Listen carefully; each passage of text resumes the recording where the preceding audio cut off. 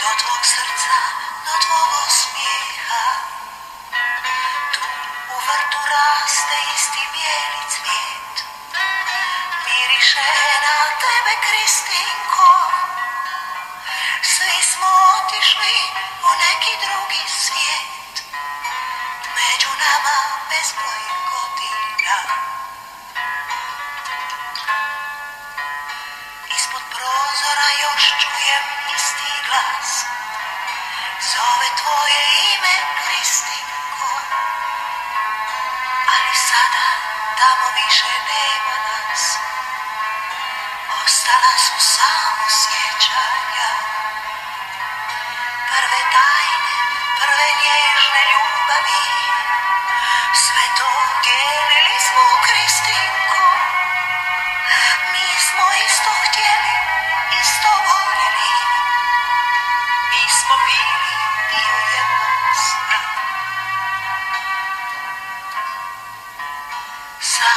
Samo uspomene kao vreli trag.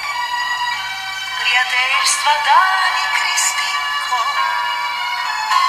Koje srcu jednom bio tako drag.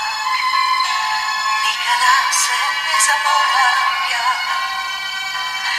Ova pjesma našu priču čuva sad.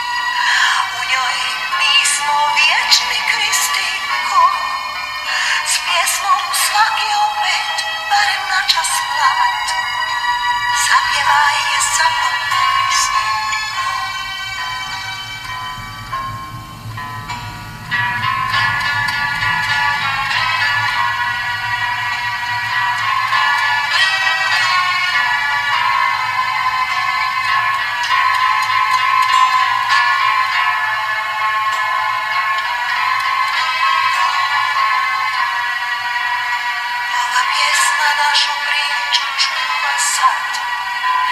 U njoj mi smo vječni Kristinko. S pjesmom svaki opet, barem